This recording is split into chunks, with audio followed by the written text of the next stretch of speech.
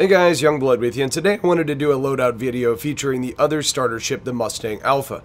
Now, much like with the Aurora video I did, I think it's important to set some realistic expectations because you're flying a ship that isn't durable against a bunch of dedicated fighters.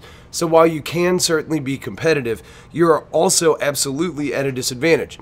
Now, the Mustang's an interesting ship because while it's fairly fast and it's very responsive to maneuvers, it's also very prone to overshooting, especially with the yaw.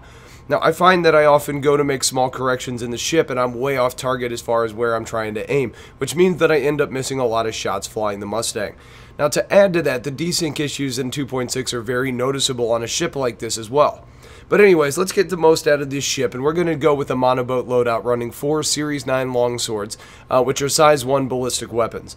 Now, while they don't have the same, um, you know, like rate of fire as something like a repeater, they do fire pretty quick for a ballistics weapon, and that's an important benefit to helping you still land some shots while others are missing um, because of the steerability issues that you face on the ship. The longswords do penetrate shields, meaning that you can earn points on almost every shot, and you can deal damage to the enemy's ship and start to dismantle them even when their shields are up. Now, while each shot doesn't pack the punch of something like a Strife Mass Driver, the rate of fire means that the overall DPS is actually very high with this kit. Um, as far as the loadout is concerned, that's really it. It's a very simple ship with four size 1 hardpoints. There's no missile pylons, so the options are very limited. Now, playing this can be done in a few different ways. The range on the longswords is actually pretty good, so you can engage from a fair distance, but judge your aim and your target. You know, someone running mantises, for example, is going to be shorter range and is going to try and close that distance. So don't let them get in and keep you lined up for long, or you're just going to end up melting.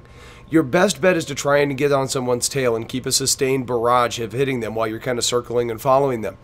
The Mustang is agile and fast enough to stay out of the firing arc of Hornets and Sabres, depending on their pilot, so you could end up getting into circle strafes and doing your damage there and doing it pretty well.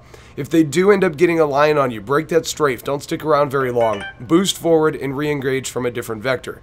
The key to flying this ship is the same as many others. Land more shots than you take, but you need to be extra careful on the damage you receive because I'm pretty sure the armor is actually made of paper mache.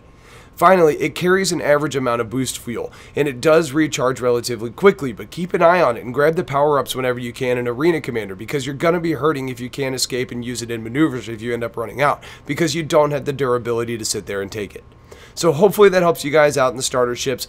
Uh, and the good news is, is that if you don't have the long swords, they're pretty cheap to rent in the rec store. So uh, if you have questions or other loadouts you like on the Mustang Alpha, please toss them in the comments. Otherwise, stay tuned for more. Have yourselves a great day and take care.